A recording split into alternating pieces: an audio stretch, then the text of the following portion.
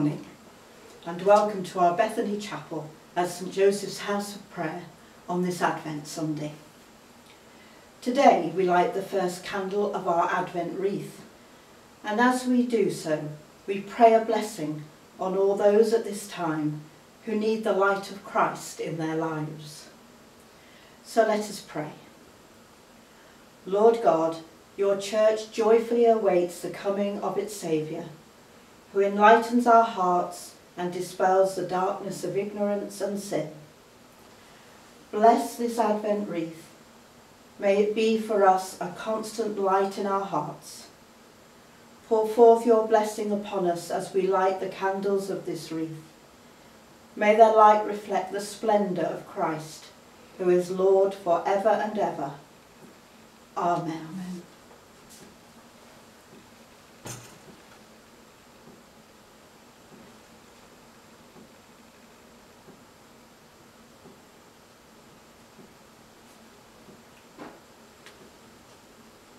Lord Jesus, light of the world, born in David's city of Bethlehem, born like him to be a king, be born in our hearts this Christmas tide, be king of our lives today.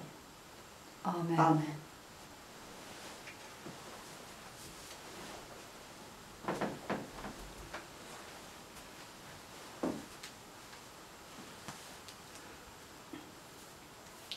In the name of the Father, the Son, and the Holy Spirit. Amen. The Lord be with you. And also with you. Almighty God, to whom all hearts are open, all desires known, and from whom no secrets are hidden, cleanse the thoughts of our hearts by the inspiration of your Holy Spirit, that we may perfectly love you and worthily magnify your holy name through Christ our Lord. Amen. When the Lord comes, he will bring to light things now hidden in darkness and will disclose the purposes of the heart. Therefore, in the light of Christ, let us confess our sins. Almighty God, our Heavenly Father, we have sinned against you and against our neighbour in thought and word and deed, through negligence, through weakness, through our own deliberate fault. We are truly sorry and repent of all our sins. For the sake of your Son, Jesus Christ, who died for us, forgive us all that is past, and grant that we may serve you in newness of life, to the glory of your name. Amen. Almighty God, who forgives all who truly repent, have mercy upon you, pardon and deliver you from all your sins, confirm and strengthen you in all goodness, and keep you in life eternal, through Jesus Christ our Lord. Amen. Amen.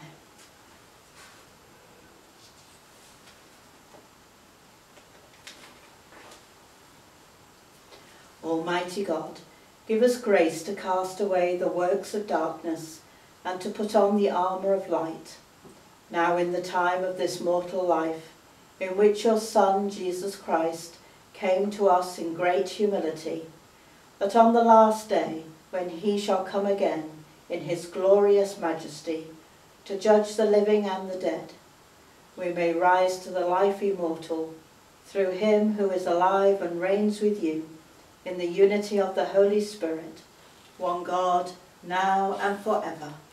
Amen. Amen.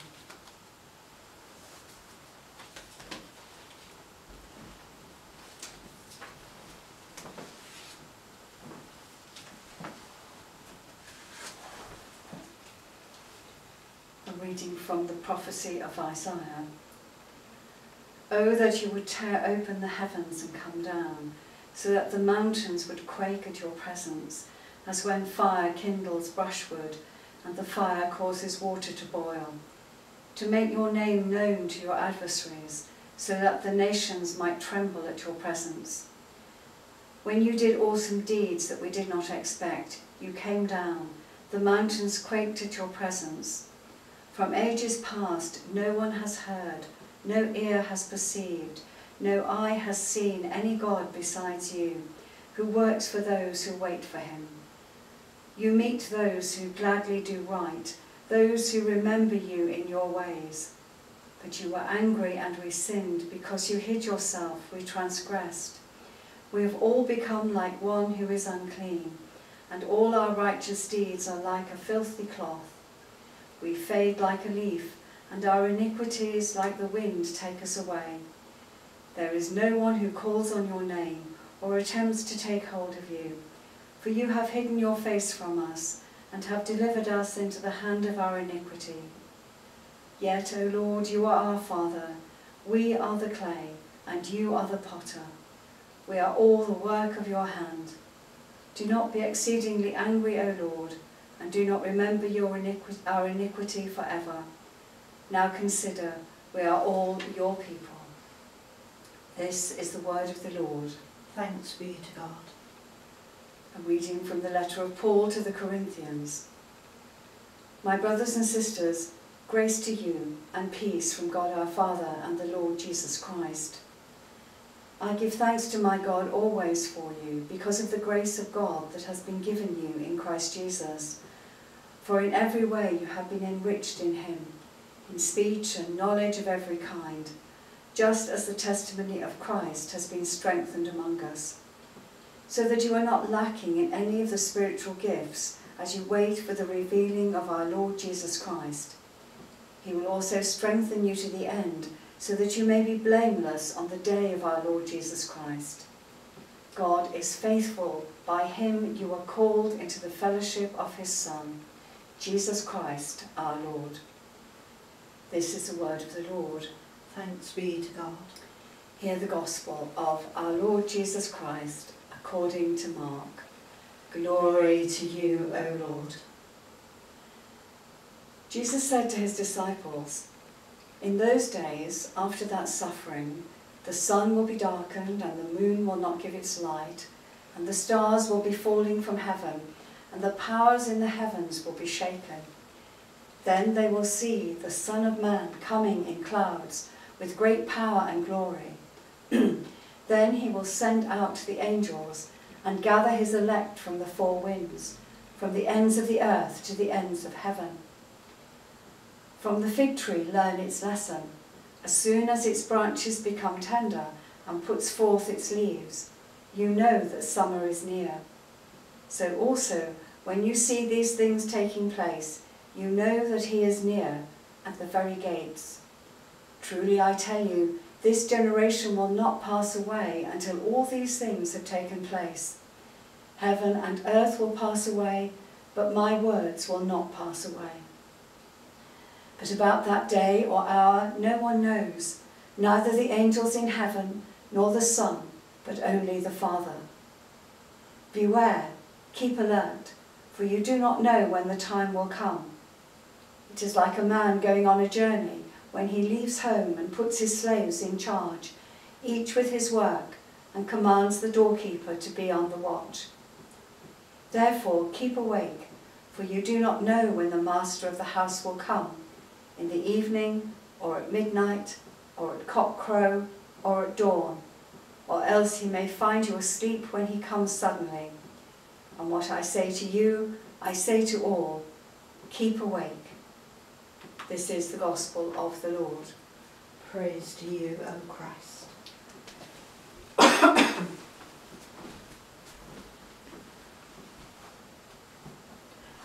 and so let us now declare our faith. We believe in one God, the Father, the Almighty, maker of heaven and earth, of all that is seen and unseen. We believe in one Lord Jesus Christ, the only Son of God, eternally begotten of the Father, God from God, light from light, true God from true God, begotten not made, of one being with the Father. Through him all things were made.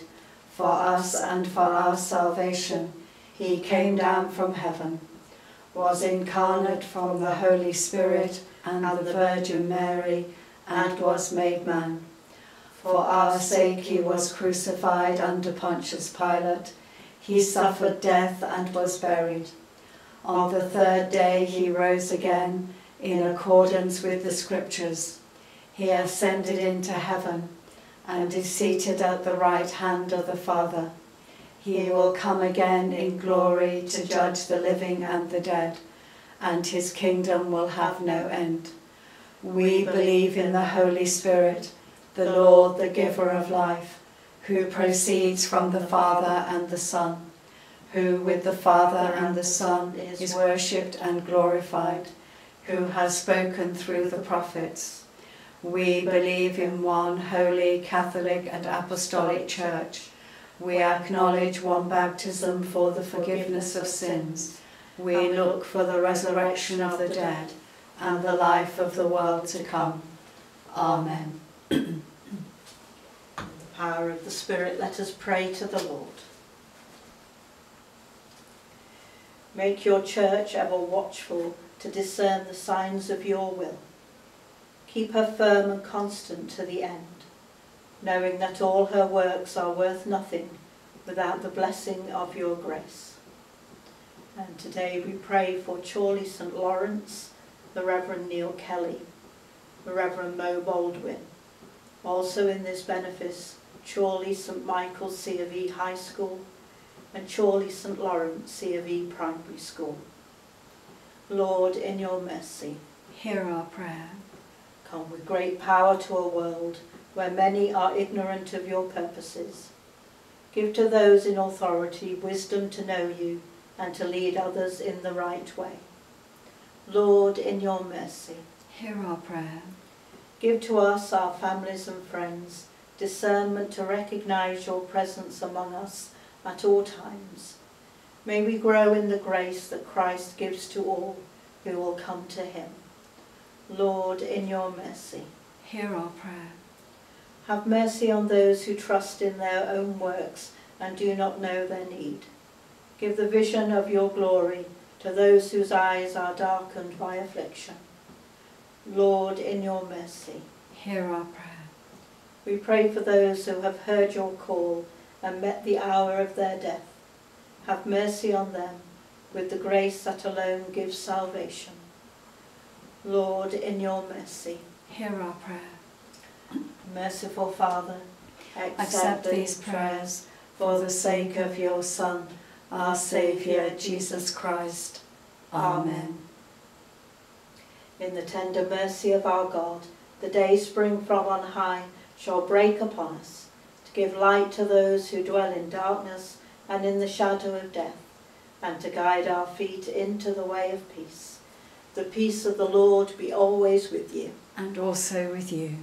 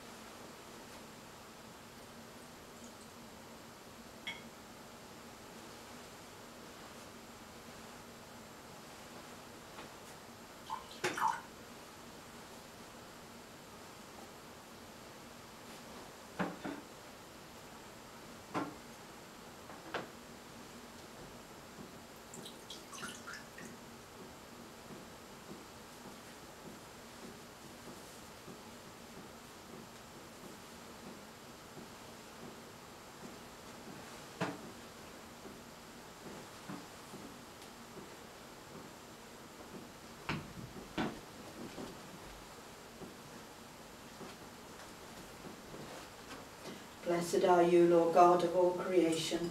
By your goodness we have this bread to offer, fruit of the earth and work of human hands. It will become for us the bread of life. Blessed be God forever. Blessed are you, Lord God of all creation. By your goodness we have this wine to set before you, fruit of the vine and work of human hands. It will become for us the cup of salvation. Blessed be God forever.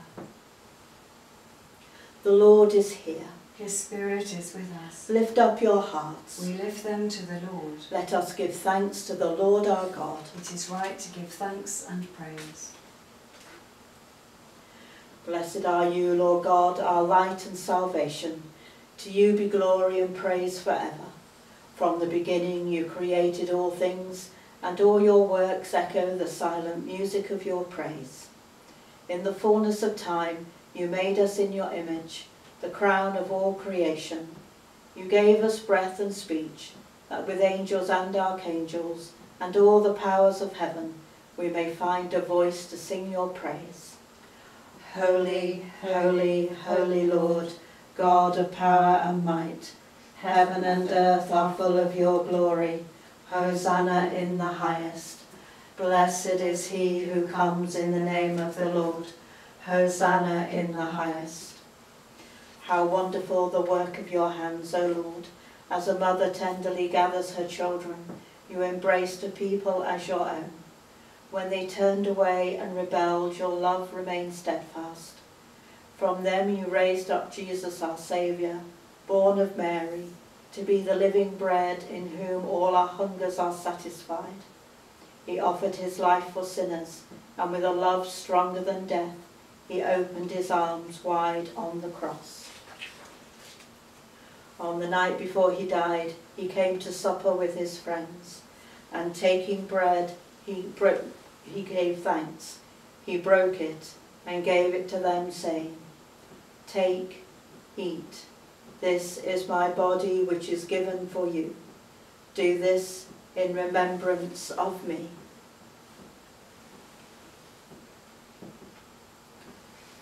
The end of supper, taking the cup of wine, he gave you thanks and said, Drink this, all of you. This is the, my blood of the new covenant, which is shed for you and for many for the forgiveness of sins. Do this as often as you drink it, in remembrance of me.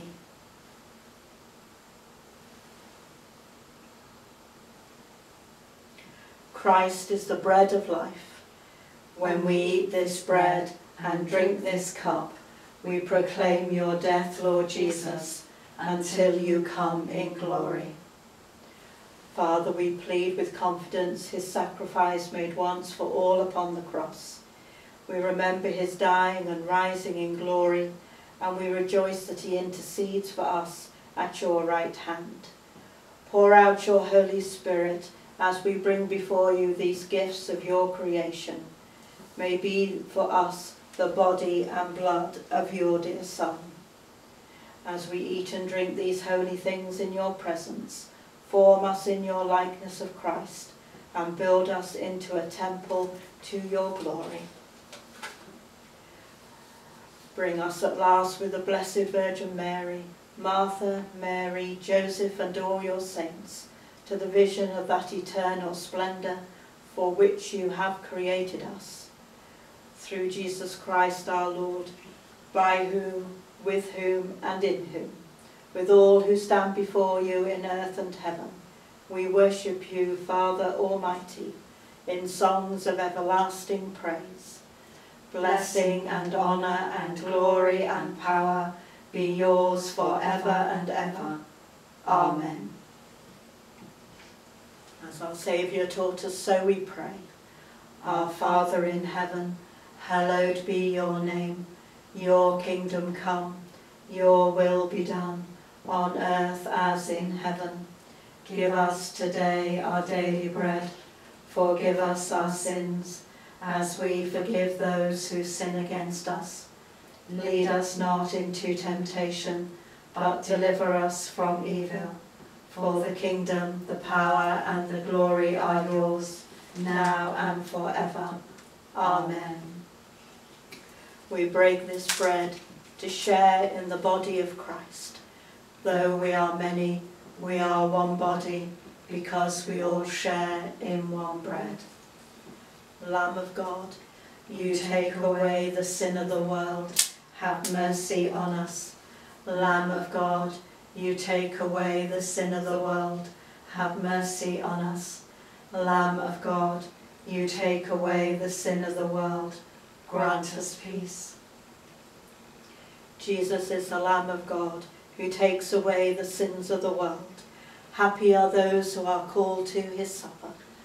Lord, I am not worthy to receive you, but only say the word, and I shall be healed.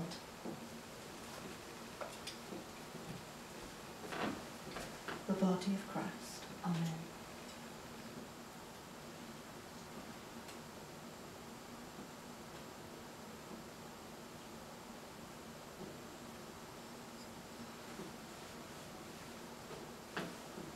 The body of Christ. Amen.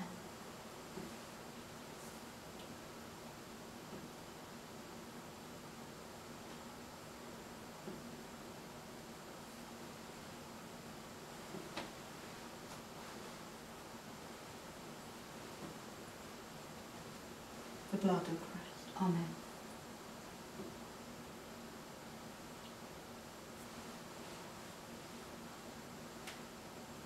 The blood of Christ. Amen.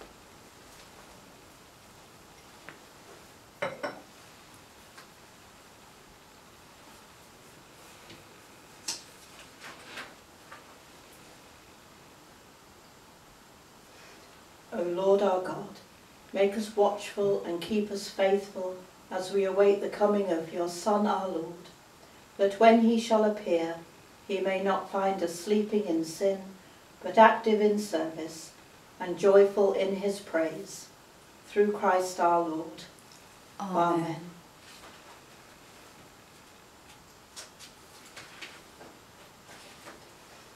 Father of all, We give you thanks and praise that when we were still far off, you met us in your Son and brought us home. Dying and living, he declared your love, gave us grace, and opened the gate of glory. May we who share Christ's body live his risen life. We who drink his cup bring life to others. We whom the Spirit lights give light to the world. Keep us firm in the hope that you have set before us, so we and all your children shall be free, and the whole earth live to praise your name. Through Christ our Lord. Amen. May God, the God of peace, make you perfect and holy, and keep you safe and blameless in spirit, soul, and body, for the coming of our Lord Jesus Christ. And the blessing of God Almighty, the Father, the Son, and the Holy Spirit be with us and remain with us always. Amen. Amen. Go in peace to love and serve the Lord. In the name of Christ. Amen.